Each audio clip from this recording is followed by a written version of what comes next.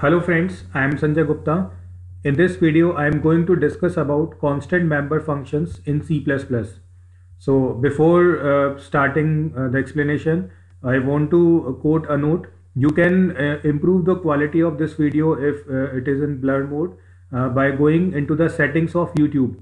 So YouTube se settings have a video quality option so you can improve the quality of this video.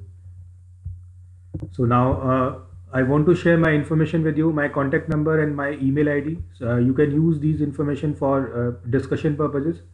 You can visit my website. You can download my app TechImage from Google Play Store. You can download PPTs related to various programming languages from tutorials.techimage.in. You can read books uh, which I have authored. You can subscribe and watch my YouTube channel. So use these information for your study and uh, placement purposes. Now coming on to the topic, constant member functions. So as the name uh, is uh, indicating, uh, we can declare a member function constant if it only access the class data members but does not modify the values of data members.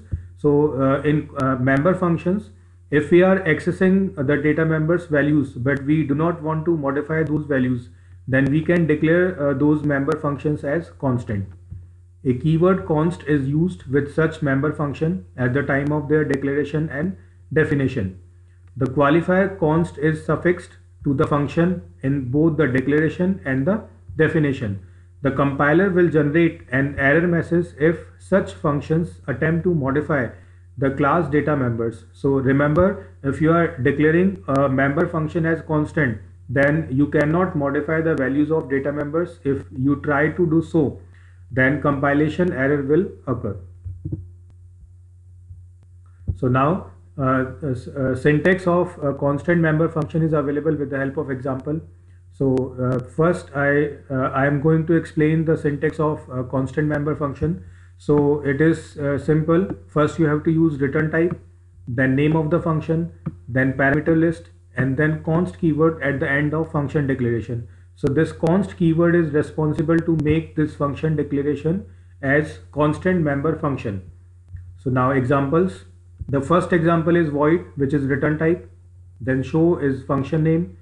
Parentheses are used uh, for uh, arguments. Uh, so in this declaration uh, parentheses are blank. It means uh, no arguments uh, will be passed in show function. Then this const keyword is responsible to make show function as constant member function. Similarly, second function is percentage.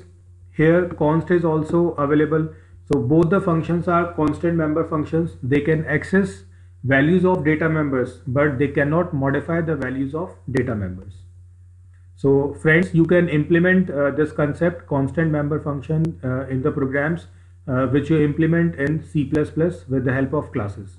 So implement uh, uh, constant member function so that you can understand the concept behind it. You can again uh, note down my information for your study and placement purposes. Thank you for watching this video.